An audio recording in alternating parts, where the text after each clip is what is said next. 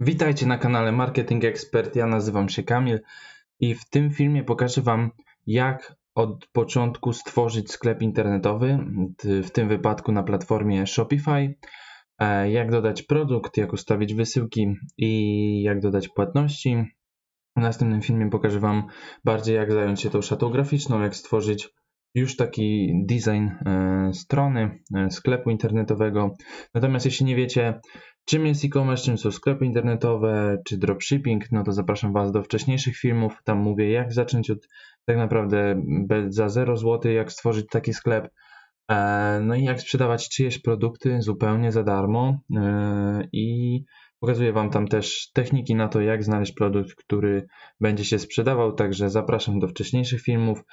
Natomiast my przejdziemy do konkretów. E, jestem, znajduję się na mm, platformie Shopify, na stronie głównej i to właśnie na niej będziemy tworzyć e, ten sklep internetowy. E, jeżeli macie przygotowane produkty, które chcecie dodać na sklep, no to bardzo dobrze, bo to od tego trzeba zacząć znaleźć taki produkt, który chcemy sprzedawać. Ja w celach tutaj pokazowych wybrałem jeden z produktów, który uważam, że ma naprawdę duży potencjał i będą to takie słuchawki, które e, no, podobne są do e, AirPodsów od Apple'a. E, dostałem też kilka jakichś tam pytań, czy sprzedawanie takich słuchawek nie wiąże się z jakimiś konsekwencjami ze strony Apple'a. E, I okazuje się, że dużo osób to robi, nie mają żadnych problemów z tym. Najważniejsze to, to nie nazywać tych słuchawek po prostu AirPodsami na swoim sklepie internetowym, tylko wymyślić dla nich jakąś własną nazwę. Ja wymyśliłem e, swoją nazwę, będę je sprzedawał pod e, nazwą Space, Space Dots. No i też pod taką nazwą utworzyłem już sklep, więc przejdźmy do, do, do tworzenia sklepu. E, więc będziemy sprzedawać na, w celach pokazowych ten, ten przedmiot, ten, te słuchawki. Natomiast teraz jak utworzyć sklep? Więc wchodzimy sobie na platformę Shopify. Bardzo fajna jest teraz promocja, e, ponieważ kiedyś e, wcześniej, przed tą całą sytuacją obecną, jakby stworzenie takiego sklepu E, po stworzeniu takiego sklepu dostawaliśmy 14 dni e, jakby darmowego testowania, natomiast później każdego miesiąca e, ten, ten, ten sklep kosztuje 29 dolarów, czyli posiadanie sklepu na tej platformie kosztuje 29 dolarów miesięcznie, natomiast jest to bardzo mała kwota, bo ponieważ jakby już po jednej sprzedaży, dwóch czy dwóch, ta kwota nam się zwraca, to się naprawdę nam zwraca, więc E, znaczy, po jednym jakby wyrównuje się, po dwóch już może nawet się zwrócić, więc, e, więc no te 29 dolarów miesięcznie to nie jest dużo. E, natomiast co jest fajnego, to teraz w obecnej sytuacji to jest 90 dni, czyli macie 3 miesiące za darmo, możecie ten sklep mieć bez żadnych opłat, możecie sprzedawać produkty bez żadnych opłat, bez niczego. To jest niesamowite. Warto teraz w to zainwestować, ponieważ no, jeżeli nie teraz, to kiedy? No naprawdę to jest idealny moment na to, żeby, żeby zacząć taki swój własny biznes, e, jeśli chodzi o dropshipping, bo to jest jeden z najlepszych biznesów tak naprawdę w internecie, na którym można naprawdę dużo zarobić. Dużo, no naprawdę, naprawdę, bardzo dużo, więc, więc warto, warto zacząć i się tym zainteresować. Więc tak, 90 dni. I teraz, mm, więc co musimy zrobić następne? Stworzyć, stworzyć konto, e, stworzyć konto na, na tej platformie, więc dajecie start free trial. E, no i tutaj wpisujecie swój adres e-mail, pas, hasło i, i nazwę sklepu, jaki chcecie mieć nazwę sklepu. I teraz jak wybrać nazwę sklepu? Najlepiej, żeby to była jakaś jed, jakieś jedno słowo lub dwa.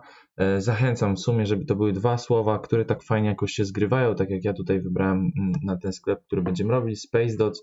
Fajnie to brzmi. Więc albo jedno słowo, albo dwa, które tak fajnie ze sobą brzmią. I teraz e, jak zrobić takie imię, e, takie, taką nazwę? Właśnie Shopify oferuje też takie fajne narzędzie darmowe, e, które pomaga utworzyć właśnie taką nazwę, nazwę sklepu. I teraz możecie na przykład wziąć produkt, który będziecie sprzedawać. Weźmy właśnie te słuchawki, czyli AirPods ja tu wpisałem, wystarczy wpisać tutaj jedno słowo i dać generate names i tutaj pojawią się Wam różne propozycje właśnie e, różnych nazw, które możemy wykorzystać jako nazwę do sklepu. Więc możecie na przykład sobie tu wpisać nazwę produktu i ono Wam wygeneruje jakieś tam nazwy, które fajnie brzmią mm, razem, razem z tym słowem.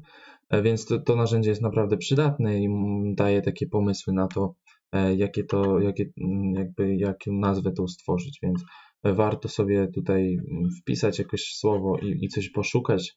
Można być kreatywnym, samemu coś wymyśleć, ale fajnie jak to jest związane, jeśli, nawet, jeśli sprzedajemy właśnie, pro, sprzedajemy na sklepie, w którym będzie tylko jeden produkt, no to właśnie warto, żeby ta nazwa była wokół tego produktu się wiązała, jak tutaj Space Dots, no to, to, to takie w sumie, ale, ale w miarę wiadomo o co chodzi, no.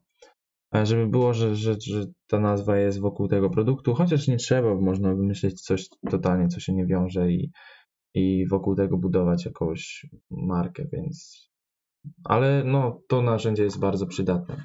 Więc jeśli macie to utworzone, tą, tą nazwę, e, przechodzicie tutaj, wpisujecie to wszystko, tam później dostaniecie jeszcze e, pytania na temat tego, co będziecie robić, e, czy jaki jest wasz dochód miesięczny, no i oczywiście dane jak swoje imię, nazwisko, miejsce zamieszkania i tak dalej, ale to schodzi dosłownie dwie minuty, szybko to można wpisać, pozaznaczać tam i i jak pozaznaczacie, jak wpiszecie, to pojawi Wam się e, takie okienko. Tutaj. E, jeżeli będziemy chcieli już otworzyć nasz sklep, sklep, to będziemy musieli wybrać ten plan, czyli te 29 dolarów miesięcznie, natomiast na razie, na razie to jest niepotrzebne. E, więc jeżeli to jest Wasza ta główna, główna, mm, główny panel w tym, na tej platformie, tutaj będziemy później budować sklep, wybierać taki główny format tego sklepu i, i budować po prostu budować po prostu sklep. To jest bardzo proste, pokażę Wam w następnym filmie. Natomiast dzisiaj skupimy się na tym, aby, aby dodać produkt do, do naszego sklepu, no, no, a później będziemy mogli to po prostu dalej, dalej lecieć z budowaniem mm, szaty graficznej. Więc aby dodać produkt do sklepu, najlepszym rozwiązaniem jest e, aplikacja Oberlo, czyli wchodzimy sobie w apps, w aplikację e, i dodajemy do, do naszej platformy e, aplikację Oberlo, czyli klikamy tutaj, ona się nam pewnie tutaj pokaże, jeśli nie, no to odwiedzamy tam sklep i wpisujemy Oberlo, po prostu musimy znaleźć mm, Oberlo. I teraz tak, dodajecie tę aplikację do swojego sklepu, do swojej platformy E, I tak będzie wyglądała ta aplikacja. Mm, ona jest już tutaj najprawdopodobniej dodana. E, tak, jest Oberlo dodany. Tutaj widać jedna aplikacja jest i to jest Oberlo póki co. E, no i to jest aplikacja, która nam umożliwi łatwe dodanie produktów z AliExpressu do, mm, do naszego sklepu. E, możemy sobie ściągnąć, wejść na ten cały sklep Google Chroma, te wszystkie tam rozszerzenia i aplikacje i zainstalować również tam Oberlo, taką aplikację, to tam się połączyć z tym, zalogować mm, ze swoim kontem ze Shopify'a i jest ta aplikacja tutaj, to będzie się pokazywało w ten sposób na stronie produktu. Dzięki temu, jeśli to klikniemy, to po prostu produkt automatycznie doda się tutaj E, i będziemy mieli to w import liście i tutaj po prostu wystarczy, że dodamy ten produkt, e, klikniemy tam przycisk i dodamy ten produkt do, e, do naszego sklepu. Natomiast można, nie trzeba wciągać tego, wystarczy, że skopiujemy link tego produktu, dodamy tutaj po prostu mm, jakby ten link i dodamy produkt do naszego sklepu. On teraz się tutaj zaczyna dodawać. O, w ten, ten sposób pokaże się, e, jak wpiszecie link i jak klikniecie to, to w ten sposób będzie się tak samo Wam pokazywało jako takie coś. E, no i po prostu dajecie import to store e, i w tym momencie ten przedmiot się importuje, zimportował się, no i możecie przejść do produktów na tej platformie i on już tutaj jest. Czyli on już jest jakby na sklepie. Jakbyśmy mieli już ten sklep stworzony, to można by było go już tam widzieć na tym sklepie. Więc e, ja będę nazywał, mm, tu jest cały ten opis, e, to jest wszystko opis AliExpressu. Ja będę chciał e, jakby zmienić tą nazwę, ponieważ wymyśliłem, że będą one się nazywają Space Dotsy, więc w ten sposób wpiszę. Nie polecam zostawiać opisu z AliExpressu, ponieważ wygląda to okropnie. E, po, prostu usunąć to i wymyśleć coś, e, coś samemu, mm, jakoś ciekawy, jakiś ciekawy opis. Jeżeli będziecie chcieli, żebym nagrał taki film, jak, jak zrobić jakiś opis, który będzie przyciągał uwagę, to, e, to piszcie, na pewno coś takiego nagram. Natomiast w tym momencie chciałbym się tylko skupić na dodaniu tego produktu, więc tutaj wpisujecie jakiś opis.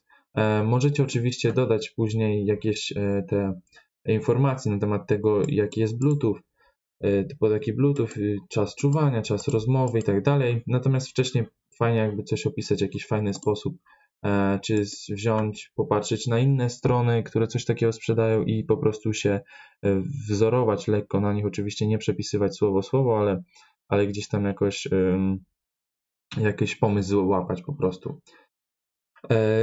No i tutaj są, tutaj są zdjęcia też z, z AliExpressu, natomiast e, z tego co widzę on tutaj ma jakieś logo i tak dalej, więc no nie chcemy, żeby to zdjęcie tutaj było.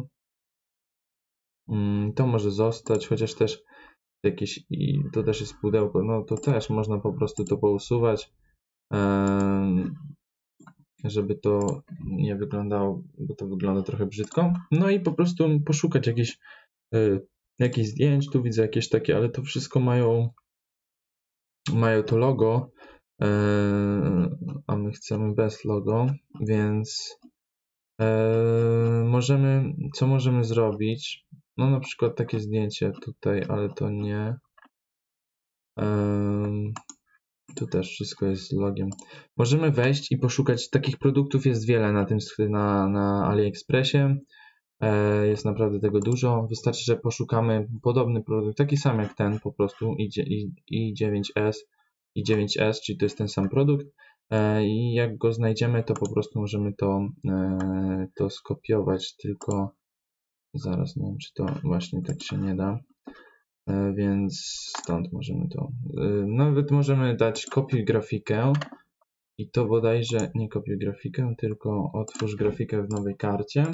I tu mamy link do tej grafiki, więc bierzemy go e, i sobie możemy tutaj, aha, nie jest tutaj, dodać media e, przez link, więc możemy po prostu wpisać tutaj ten link e, i, i produkt nam, i te, to zdjęcie powinno nam się tutaj pojawić.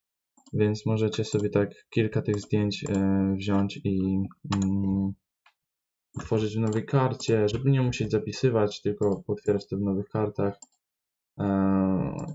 I tutaj dodać to z linku. Więc w ten sposób możecie znaleźć zdjęcia. Eee, no oczywiście warto poświęcić na te chwilę czasu. Ja to na szybko tak tylko pokazuję, natomiast jest wiele fajnych zdjęć. Eee, można znaleźć na tym AliExpressie dotyczących tego produktów. Jest naprawdę dziesiątki tych samych sprzedawców, ale mają różne zdjęcia i, i, warto poświęcić czas, żeby to fajnie wyglądało. Oczywiście to pokażę w następnym filmie, jak jeszcze będziemy robić ten, tą całą szatę i tak dalej graficzną, więc e, natomiast w ten sposób można dodać tutaj produkty, można też po prostu przeciągnąć z komputera coś dodać. E, w tym miejscu e, pojawiają nam się opcje, czyli pojawia nam się opcja kolor i, i w sumie to tyle opcji. E, więc jest e, opcja, że jest kolor biały. Natomiast no, nie sprzedajemy e, żadnego innego koloru. Tu jest wersja bez pudełka, ale na pewno chcemy to sprzedawać z pudełkiem, więc tą opcję warto, warto usunąć, mm, żeby to się nie mieszało czyli po prostu kolor e, biały. Jeżeli byśmy chcieli dodać jeszcze jakieś kolory czarne tych słuchawek, gdzieś tam znaleźć i tak dalej, no to wtedy możemy dodać e, kolejną opcję w ten sposób, że no po prostu e, tutaj dodajemy kolor i dodajemy tutaj po prostu jeszcze tam czarny czy, czy jakiś inny. Natomiast teraz tak, przejdźmy do, do, do ceny za te słuchawki. One kosztują na, mm, na AliExpressie kosztują 4,49. Weźmy to sobie w polskich mm, złotówkach. Chociaż tak jak mówię, warto sprzedawać e, za granicą bardziej niż w Polsce mm, i te ceny można wtedy dać wyższe i tak dalej. War, tak, należy też o tym pamiętać, żeby wysyłka, zawsze gdzie wysyłacie, zawsze żeby ta wysyłka była z śledzeniem, czyli jeżeli jest krzyżyk tutaj w śledzeniu, no to od, no po prostu nie, nie róbcie tego, e, bo klienci będą chcieli dowiedzieć się, gdzie jest ten przedmiot i tak dalej. Jeżeli będzie ten czas oczekiwania dłuższy, oni po, po prostu pomyślą, że ich robicie, wiadomo, i więc warto mieć ten kod śledzenia, żeby im dać, e, żeby mogli po prostu sobie sprawdzić, być pewni, że ta przesyłka idzie. E, więc zawsze wybieramy to tu, gdzie jest śledzenie. Można przepatrzeć inne, jak inni po prostu, jakie inne mają, e, inni producenci mają ceny i wybrać te, które najbardziej odpowiada. Też można popatrzeć na opinie klientów, czy są dobre i tak dalej. Natomiast tutaj weźmy ten ten, ten, ten przedmiot u tego sprzedawcy. No i to będzie jakieś 30, e, 31 e, powiedzmy złoty będziecie musieli zapłacić za te słuchawki, więc chcecie zarobić na nich trochę, więc możecie je sprzedać nawet za 120 powiedzmy. To jest duża przebitka, E, natomiast no, wiemy, że y, AirPodsy kosztują ponad 500 zł, więc jeżeli ktoś zobaczy te słuchawki i zobaczy za 120, to mimo wszystko w porównaniu do kwoty 550 czy tam ileś, ile te AirPodsy kosztują, a 120, no to jest duża różnica, więc, e, więc no 120 zł myślę, że jeszcze to nie jest taka, taka y, kwota, ale bym myślę, że 99,99 to tak mm, fajnie wygląda i du duży profit jest około 60 zł. Chociaż tak jak mówię, ja często sprzedaję produkty tak, że żeby te 100 zł przynajmniej być na plusie. Po prostu jeśli produkt się sprzeda, to żebym ja na każdym z nich zarobił ze 100 zł, no to wtedy to już jest naprawdę, e, no, naprawdę fajny biznes. Więc tutaj ustawiamy sobie tą cenę. Niech to będzie 100 zł. Mm, no i mamy to tutaj zrobione. Natomiast można sobie jeszcze można sobie jeszcze, mm, muszę to zapisać. E, tutaj można też dodać zdjęcie tego, tego, tej, tej białej opcji. Jakby na przykład dodalibyśmy jeszcze ten czarny, na przykład czerwony, to żeby na przykład tutaj było zdjęcie białego, tu czarnego i tu czerwonego, tak żeby jak ktoś klika opcję e, białe, no to żeby pokazywało mu się faktycznie te białe słuchawki. Można sobie jeszcze tutaj dać nie wiem, która to opcja była. Eee, nie, dobra, nieważne. Eee, więc macie tą cenę, macie ten produkt. Tutaj jest SEO. Dobra, do, do tego kiedy, kiedyś przejdę, natomiast teraz zostawmy to w spokoju. Eee, no i co? Trzeba będzie utworzyć collection, czyli kolekcję. Bo tak. Mm, ale to też przejdę do tego w, następnych, w następnym filmie, ponieważ tak ogólnie chciałem Wam pokazać. Czyli ten produkt jest dodany, po prostu on jest już dodany do, e, do sklepu. Mm, I teraz e, wystarczy, że utworzymy po prostu cały ten sklep, e, no i ten produkt będzie tam widoczny. Będzie, będzie miał on jakby stronę produktu i tak dalej, ale to pokażę Wam później w następnym filmie. Znaczy, co bym chciał jeszcze tutaj omówić, to e, shipping, czyli dostawę. E, tak, żeby jak ktoś kupuje, dodaje ten produkt do, do koszyka, a później przychodzi do, do, do zakupu i tak dalej, no to pojawia mu się, mu się wysyłka. E, polecam w ogóle robić tak, że, że wziąć, dać większą cenę na produkcie, natomiast jakby ten, tą, tą dostawę dać za darmo. I najważniejsze teraz jest to, aby ustawić, e, ustawić to, żeby można było faktycznie wysyłać to e, za granicę, wszędzie. Więc musimy stworzyć takie. E, to możemy usunąć na razie. Więc musimy stworzyć rejty, czyli tak. Tu jest y, dostawa do Polski, mm, ale chcemy otworzyć nową, nową. E, więc tak, klikacie tutaj w Create Shipping Zone i tutaj pokazują Wam się wszystkie kraje. E, więc tutaj chcecie zaznaczyć po prostu wszystko, e, wszystkie kraje, że do wszystkich krajów jest wysyłka. Mm, tak żeby, tak żeby jak ktoś kupuje z jakiegokolwiek kraju na świecie, to, to po prostu pojawiło mu się, że można tam wysłać. E, ta, ta wysyłka i tak będzie darmowa, ale chcemy, żeby, żeby wiadomo, program wiedział, że do każdego kraju można, można wysłać. Bo jeśli byśmy czegoś nie zaznaczyli, ktoś by wpisał powiedzmy, że jest z, e, nie wiem, z Fidżi, natomiast nie byłoby to tu odznaczone, no to nie mógłby kupić tego produktu, więc no nie chcemy, żeby tak się stało. Więc można, możemy tutaj sobie to nazwać jakoś, powiedzmy, że w ten sposób. E, to nie pokazuje się nikomu i po prostu mm, no to jest, to jest właśnie to już resztę, żeby nam nie przeszkadzało, możemy to usunąć. E, I dodajemy teraz rate, czyli dodajemy tą cenę tego, e, tego tej, tej, tej dostawy. Natomiast co zrobimy, to musimy nazwać tą dostawę, czyli powiedzmy standard shipping Standard shipping niech to będzie, czyli taka standardowa dostawa i ona jest darmowa i po prostu dom. I w tym momencie mamy stworzoną dostawę. E, wszyscy, którzy byle z jakiego kraju ktoś by kupował, zobaczy, że jest to standard shipping, darmowa dostawa.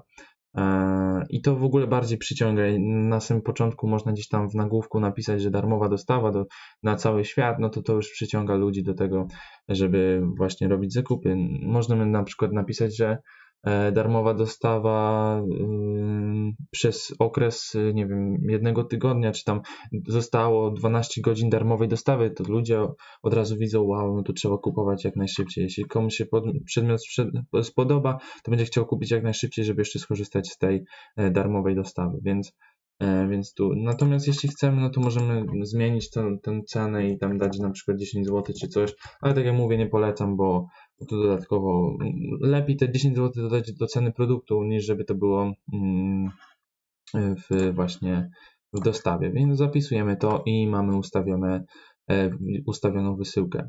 Więc mamy produkt dodany do sklepu, mamy ustawioną wysyłkę. E, kolejnym krokiem będzie dodanie e, płatności, czyli bramek płatności. Czyli jeśli ktoś nam płaci za produkt, te pieniądze przechodzą i teraz albo na PayPal, albo na, na Stripe'a, czyli PayPal to jest, no to PayPal to wiadomo co to jest, to jest taka bramka płatności. Natomiast mm, Stripe to jest coś podobnego, natomiast y, to bardziej w Stanach Zjednoczonych działa, więc jeśli ktoś w Stanach Zjednoczonych będzie sprzedawał, to warto to mieć, ponieważ dużo ludzi lubi przez to kupować. E, tam wystarczy, że poda się kartę, nie trzeba nic skombinować, wystarczy karta, numer karty i, i, i tam pojedyncze dane i, i zakup jest zrobiony. Natomiast jak to zrobić? Wchodzicie dalej w settings i musicie wejść sobie w payments.